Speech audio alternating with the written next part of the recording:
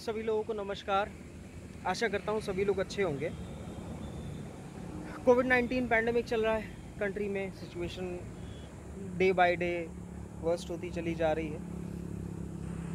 हमें कुछ चीज़ें समझ में आ गई। ऐसे सिचुएशन में गवर्नमेंट एकदम से कुछ नहीं कर सकती। तो कुछ स्टेप्स हमें लेने पड़ेंगे। दो सॉल्यूशंस हैं। पहला सॉल्यूशन वैक्सीनेशन जो कि गवर्नमेंट की तरफ़ से हो रहा है और होगा। हालाँकि टाइम लग रहा है इसमें। और दूसरा इम्यूनिटी डेवलपमेंट इम्यूनिटी एक ऐसी चीज़ है जो हमें डेवलप करनी है। और अभी कोविड नाइन्टीन का ये सेकेंड वेव है जो हमारे कंट्री में हिट किया।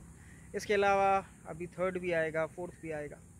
तो सिर्फ़ वैक्सीनेशन से काम चलेगा नहीं, चलेगा आई डोंट नो कि वैक्सीनेशन जो हो रहा है, वो इस कोविड का हो रहा है। आगे जाके जो पेंडेमिक्स आएँगे, उनके लिए हमें कैसे प्रिपेयर रहना है? तो मेरा कहना यही है कि आप इम्यूनिटी पे थोड़ा काम करिए।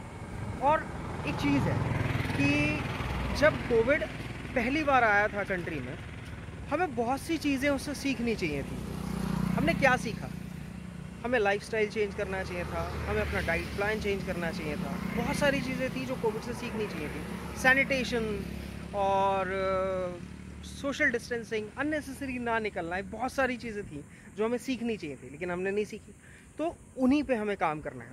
वैक्सीनेशन तो गवर्नमेंट करवाएगी और वैक्सीनेशन होता रहेगा, हो जाएगा, लेकिन उसके बाद भी बहुत सी चीज़ें हैं जो हमें करनी है। जैसे सुबह जल्दी उठकर डीप ब्रीदिंग मेडिटेशन योगा जैसे आपके लंग्स स्ट्रॉन्ग हों। और खाने पीने में बहुत सारी चीज़ें एक्चुअली मैं न्यूट्रिशनिस्ट नहीं हूँ तो मैं आपको वो चीज़ें सजेस्ट नहीं कर सकता। बहुत सारी चीज़ें आपको मिल जाएँगी।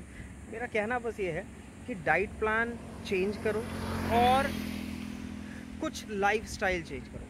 अभी भी वो अटरम शटरम हाँ अंट शंट नहीं खाना है। कुछ अच्छा हेल्दी खाओ लाइफ स्टाइल हेल्दी बनाओ जैसे इम्यूनिटी अच्छी हो। इम्यूनिटी अच्छी होगी तो जैसे corona corona is just flu type यही कह सकते हैं।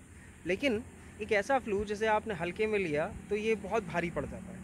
तो बहुत से लोगों का जो रिकवर कर रहे हैं, उनकी इम्यूनिटी डेफिनेटली अच्छी होगी और जिनकी इम्यूनिटी अच्छी नहीं है, वो रिकवर जल्दी नहीं कर पाते बहुत सारी चीज़ें डिस्टर्ब हो जाती हैं। इसलिए आई होप आप लोग समझ रहे होंगे और आप लोगों को क्या करना है, आप लोगों को बस इम्यूनिटी पे ध्यान देना है और जल्दी से जल्दी वैक्सीनेट होना है। चलिए, ख्याल रखिए अपना और अपने साथियों का हालचाल लेते रहिए सबसे।